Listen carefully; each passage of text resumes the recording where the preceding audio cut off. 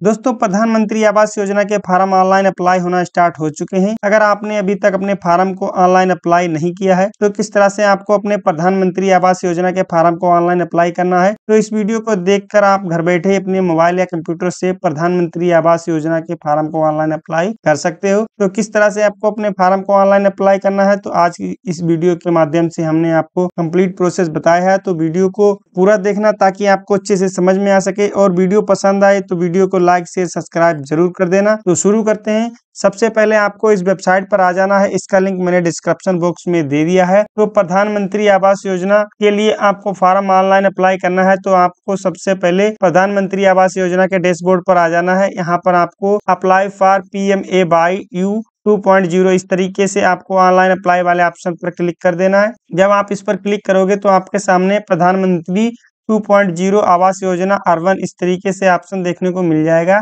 यहाँ पर आपको apply for P M A Y U two इस तरीके से ऑप्शन देखने को मिलेगा। इस पर आपको क्लिक कर देना है। फिर आपको यहाँ पर इंस्ट्रक्शन फॉर द यूज़र यहाँ पर आपको पढ़ लेना है और यहाँ पर आपको क्लिक टू प्रोसीड वाले ऑप्शन पर क्लिक कर देना है। जब आप इस पर क्लिक करोगे तो आपके सामने डॉक्यूमेंट रिक्वायर्ड का कुछ ऑप्शन देखने को मिल जाता है। तो यहाँ पर आपको देखने को मिलेगा नीचे आवश्यक दस्तावेज़। आपके पास एक आधार कार्ड होना चाहिए परिवार के सदस्यों का आधार कार्ड होना चाहिए और आवेदक के सक्रिय बैंक खाते का विवरण यहाँ पर होना चाहिए। आपके पास एक इनकम सर्टिफिकेट होना चाहिए जात प्रमाण पत्र होना चाहिए और आप और आपके पास जो भूमि दस्तावेज़ हैं, वो होने चाहिए। अगर इतने डॉक्यूमेंट आपके पास होते हैं तो उसके बाद आपको यहाँ पर प्रोसीड वाले ऑप्शन पर क्लिक कर देना है। जब आप इस पर क्लिक करोगे तो यहाँ पर एलिजिबल चेक वाले ऑप्शन को फिलअप कर लेना है। तो यहाँ पर सबसे पहले आपको अपनी एनुअल इनकम को फिलअप कर देना है। उसके बाद यहाँ पर हमें तीन ऑप्शन देखने को मिल जाते हैं। यहाँ पर फ़र्स्ट वाला ऑप्शन है कि अगर आपकी खुद की ज़मीन है, उस पर आपको अपना आवास बनाना है तो इस वाले ऑप्शन पर क्लिक कर देना है। अगर आपने उस ज़मीन को खरीदा है या परचेज किया है तो आपको इस वाले ऑप्शन पर क्लिक करना है। यहाँ पर तीसरा ऑप्शन है, अगर आपने उस ज़मीन को लोन में लिया है या किस्तों पर लिया है, किसी तरह से लिया है तो आपको इस वाले ऑप्शन पर क्लिक कर देना है। तो इस वाले ऑप्शन पर हम क्लिक कर देते हैं। उसके बाद यहाँ पर हमसे पूछा गया है कि आपका भारत में कहीं पर भी पक्का मकान है। अगर आपके पास पक्का मकान है तो यस कर दीजिए। अगर नहीं है तो इस वाले नो वाले ऑप्शन पर क्लिक कर देना है। इसी तरह से नीचे हमसे पूछा गया है कि आपने अगर 20 वर्षों में किसी सरकारी हाउस स्कीम का लाभ लिया है तो आपको यस कर देना है। अगर आपने कोई लाभ नहीं लिया है तो यहाँ पर आपको नो कर देना है। तो यहाँ पर एलिजिबिलिटी चेक वाले ऑप्शन पर जब हम क्लिक करेंगे तो इस तरह से हमारे सामने फार्म ओपन हो जाएगा। यहाँ पर हमें सबसे पहले अपना आधार नंबर फिलअप कर देना है, उसके बाद यहाँ पर हमें अपना नाम फिलअप कर देना है। इसी प्रकार हम इसको नीचे स्क्रॉल करेंगे, फिर यहाँ पर टर्म एंड कंडीशन वाले ऑप्शन पर क्लिक कर देंगे और यहाँ पर जनरेट ओटीपी पर क्लिक करेंगे। तो जैसे ही आप जनरेट ओटीपी पर क्लिक करोगे तो जो आपका आधार से रजिस्टर्ड मोबाइल नंबर है, उस पर ओटीपी को भेज दिया जाएगा और वो ओटीपी आपको यहाँ पर फिलअप कर देना है। जब ओटीपी को फिलअप कर दोगे, उसके बाद यहाँ पर आपको सबमिट करना होता है। तो दोस्तों, जो प्रधानमंत्री आवास योजना का फॉर्म है, वो ओपन हो गया है। यहाँ पर आवेदक का नाम देखने को मिल जाएगा, जो आधार में रजिस्टर्ड होगा, वो ऑटोमेटिक यहाँ पर उठा लेगा। इसी प्रकार जो आवेदक है, उसका आधार नंबर देखने को मिल जाएगा। फिर यहाँ पर उसका पैन कार्ड नंबर है तो फिलअप कर देना है। नहीं है तो इसको छोड़ भी सकते हो। इसी प्रकार यहाँ पर आवेदक की डेट ऑफ़ बर्थ को फिलअप कर देना है। उसके बाद यहाँ पर अपना जेंडर सिलेक्ट कर लेना है। जेंडर सिलेक्ट करने के बाद फिर आपको अपना मेरिटल स्टेटस सिलेक्ट कर लेना है। आप अनमेरिड हो मेरिड हो तो यहाँ पर उस, अपने अनुसार सिलेक्ट कर सकते हो। फिर उसके बाद यहाँ पर अपने पिताजी का नाम को फिलअप कर देना है। फिर यहाँ पर पिताजी के आधार कार्ड की संख्या को फिलअप करना है। और उसी प्रकार यहाँ पर अपने आधार कार्ड के अनुसार अपनी माता का नाम फिलअप कर लेना है। फिर उसके बाद यहाँ पर अपनी माता का आधार नंबर फिलअप कर देना है। उसके बाद यहाँ पर आपको को सिलेक्ट कर लेना है कि यहाँ पे एम्प्लॉय हो या नॉट एम्प्लॉयड हो लेबर हो, जिस प्रकार से आपका स्टेटस हो उसको सिलेक्ट कर लेना है। तो यहाँ पर हम लेबर वाले ऑप्शन पर क्लिक कर देंगे। इसी प्रकार आपको आवेदक का व्यवसाय सिलेक्ट कर लेना है। तो यहाँ पर क्लिक करके उसके व्यवसाय को सिलेक्ट करेंगे। फिर उसके बाद यहाँ पर जो आवेदक है उसकी क्वालिफिकेशन को सिलेक्ट कर लेना है। तो जो भी उसकी एजुकेशन हो, उसको उसी के अनुसार सिलेक्ट कर सकते हो। तो उसके बाद यहाँ पर हम नीचे स्क्रॉल कर लेंगे। फिर उसके बाद यहाँ पर पारिवारिक श्रेणी जो आपसे यहाँ पर पहले पूछा गया था, वो हमने सिलेक्ट कर लिया था पहले ही। उसके बाद यहाँ पर पूछा गया, क्या परिवार के पास भारत में कहीं भी पक्का मकान है? तो उसको मैंने नो कर दिया था। उसके बाद जो औसत पारिवारिक वार्षिक है, वो हमने यहाँ पर फिलअप कर दी थी। आय प्रमाण पत्र के अनुसार उसके बाद यहाँ पर अपने आय प्रमाण पत्र की कॉपी को स्कैन कर लेना है और उसको यहाँ पर अपलोड कर देना है। तो यहाँ पर आपको अपने धर्म को सिलेक्ट कर लेना है।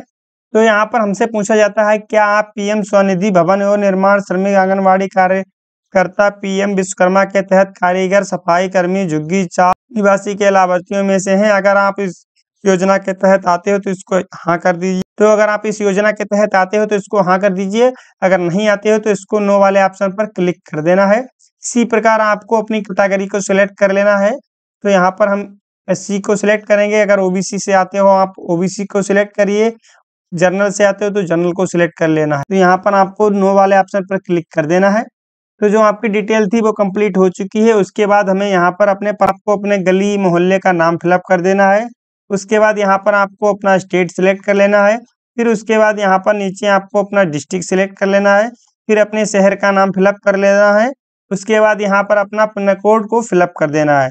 फिर आपको नीचे यहाँ अपना मोबाइल नंबर फिलअप कर देना है। उसके बाद अपनी ईमेल आईडी को फिलअप कर देना है। ये डिटेल आप इस एक साइड में फिलअप करोगे। उसके बाद अगर आपका परमानेंट एड्रेस और करंट एड्रेस सेम है तो यहाँ पर आपको टिक कर देना है। जब आप इस पर टिक कर दोगे तो आपका जो इधर फिलअप होगा, वो सेम टू सेम इधर भी फिलअप हो जाएगा। तो इस प्रकार आप अपने परमानेंट एड्रेस और करंट एड्रेस को same to same fill up कर सकते हो। अगर आपका सेम है तो।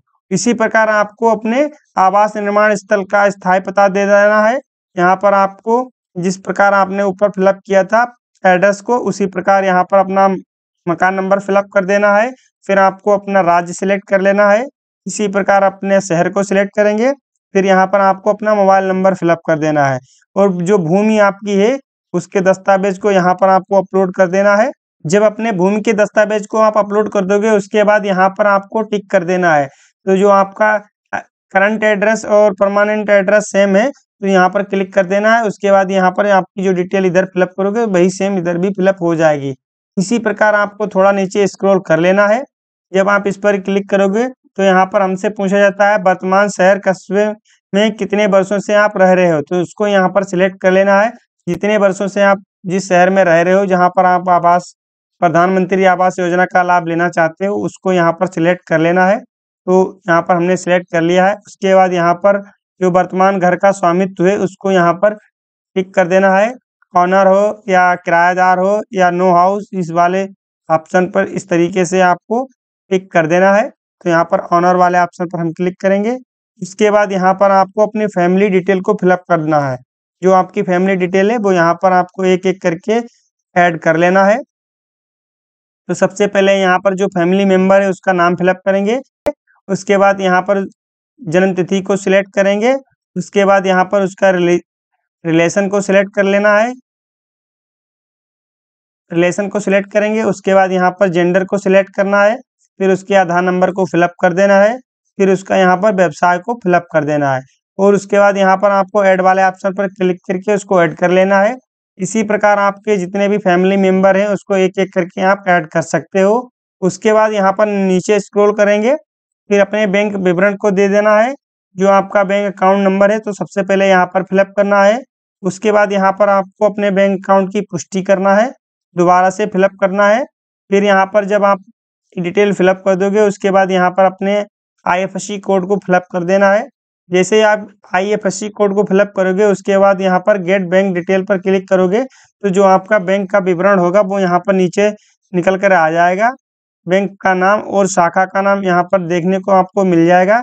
इसी प्रकार जब आप ये डिटेल फिलअप कर दोगे, उसके बाद यहाँ पर अगर आपने इन योजनाओं के तहत किसी भी योजना का लाभ उठाया है तो आपको यस कर देना है, अगर नहीं उठाया है तो नो कर देना है। तो यहाँ पर आपको नो कर देना है, अगर किसी ने उठाया हो तो उसको यस कर दीजिए।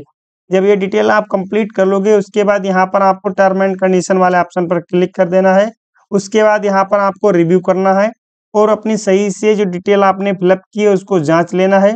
जब जाँच लोगे, उसके बाद यहाँ पर आपको सुरक्षित कर देना है। तो जब सुरक्षित कर दोगे तो आपका डाटा सेव हो जाएगा। तो जब आप इसको सबमिट कर दोगे तो आपका जो फार्म है, वो स्टेट लेवल या डिस्ट्रिक्ट लेवल पर भेज दिया जाएगा। उसके बाद यहाँ से जब अप्रूवल हो जाता है तो तो जो आपका नाम है, वो आपकी जो 2024-25 की सूची है, उसमें ऐड कर दिया जाएगा।